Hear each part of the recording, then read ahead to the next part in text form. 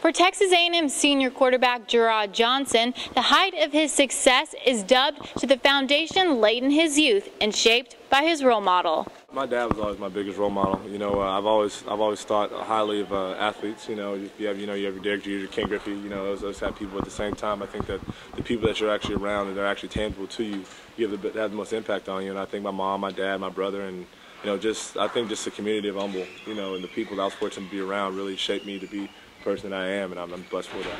A determined leader like his dad, Johnson is following a similar career path in education and is now working on his master's. Getting my master's in uh, RPTS, uh, Parks and Recs, but it's I'm doing the youth development base because I like to start a camp, uh, run a camp down in uh, Humble at some point in time when I when I get older. So just kind of learning how to, you know, youth designing a camp, you know, budgeting and and that kind of stuff. So just a youth development course on a different note than education. Before jumping too far ahead, Johnson has more current goals, like embracing every moment of two-a-days. I've just enjoyed being around the guys. It's my last year here, and there's so many things about uh, camp two-a-days that you know, that, that are rough. You know, us getting here at 6 in the morning and leaving at, at 9 at night, you know, uh, just from uh, all the meetings and, you know, the nutrition and the ice baths. And there's so many things about it, but at the same time, I've kind of cherished it due to the fact that, you know, it's my last one. The senior status is acting as a fuel to Johnson's motivation and drive to learn every last thing he can, whether it be from studying Coach Tim DeRuyter's defense or working with a former Aggie quarterback.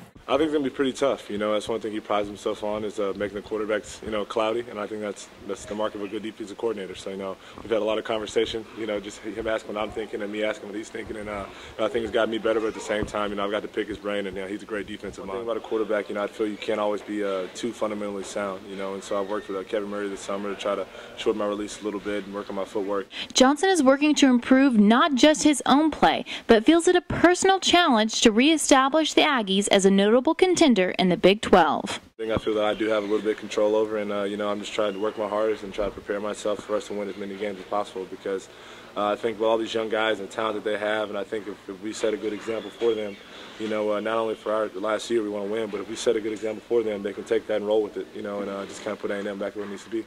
Building upon the foundation molded by his parents and combining his God-given gifts and abilities, Johnson is climbing to even greater heights. In just a little over a week, when the Aggies hit Kyle Field, he'll have the opportunity to climb even higher. This has been Courtney Roland for Aggie Yell TV.